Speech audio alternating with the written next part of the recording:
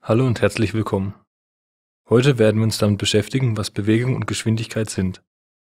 Wenn du mit dem Fahrrad oder mit dem Auto fährst oder vielleicht irgendwann mal mit einer Rakete fliegst, dann bewegst du dich immer mit einer gewissen Geschwindigkeit.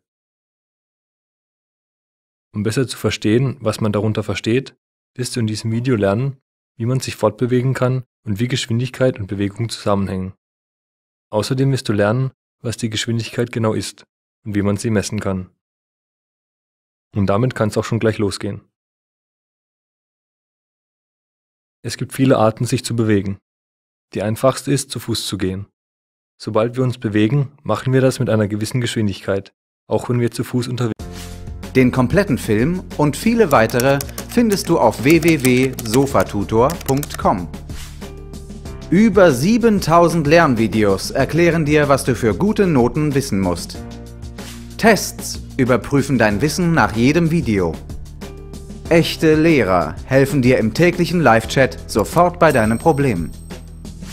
Du kannst außerdem Privatstunden bei deinem persönlichen Online-Tutor buchen, um tiefer in ein Thema einzutauchen.